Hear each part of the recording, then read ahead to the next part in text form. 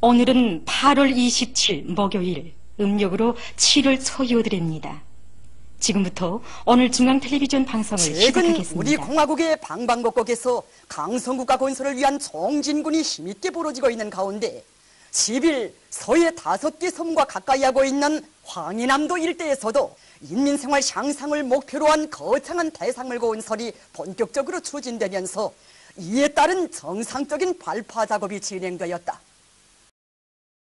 돌입하고 그것으로도 성착이 않아 연평도 포격 도발을 감행하여 조선반도 정세를 불과불이 오가는 최악의 전쟁 국면으로 전변시킨 모략가들의 체질적인 악습의 연장이다.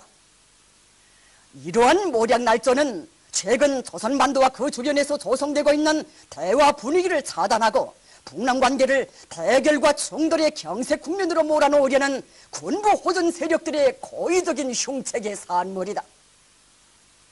특히 엄중시하지 않을 수 없는 것은 우리 측이